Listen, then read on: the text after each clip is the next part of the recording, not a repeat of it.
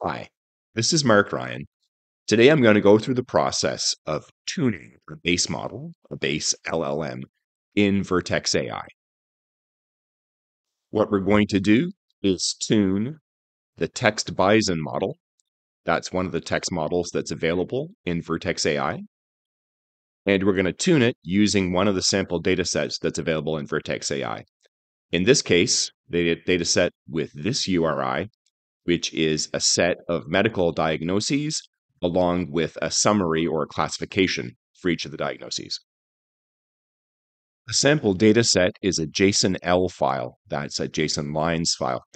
And in this example, you can see there are fields for input text and output text. The input text is the text for a medical transcript, and the output text is a classification for that transcript, in this case, pain management. So we've selected a base model that we want to tune as well as a data set to use for the tuning. So the first thing we need to do is to go into Vertex AI.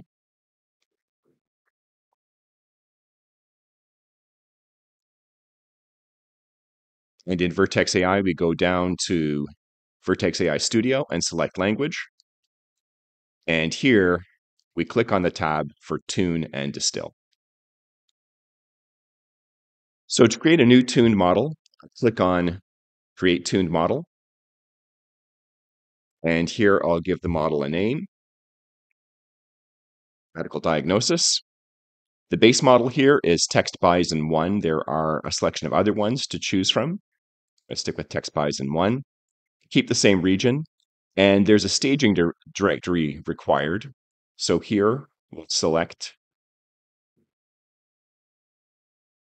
a staging folder in Google Cloud Storage and click on Continue.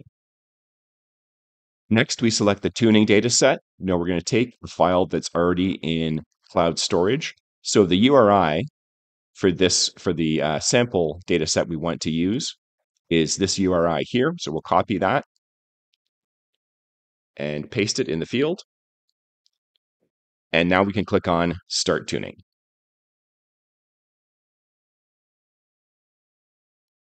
And once the tuning starts, you can see the pipeline run status is running. We have a model here that we already tuned earlier, so we'll return to that in a minute to show you what the tuned model looks like. The tuning can take several hours, so we'll go ahead and try out the exercising of the model with one that we've tuned previously. So we have a model here that has already been tuned, tuned with the same data set, the medical diagnosis data set. And since the tuning, the tuning pipeline run status has succeeded, all we need to do is click on test. And this will take us to the prompt editor. And note here that the model that we tuned is selected under model. To exercise the tuned model, all we need to do is take one of the values for the transcript. And the transcript is simply the value that would be in input text in the training data set. So here's an example of what that might look like for a different record. So to see what kind of response the tuned model will provide for this particular input prompt, we just have to click on submit. And the response we get is sleep medicine, which is roughly what we would expect. So this shows that the tuned model has been honed so that it's able to provide responses for this particular use case, that is classifying medical transcripts.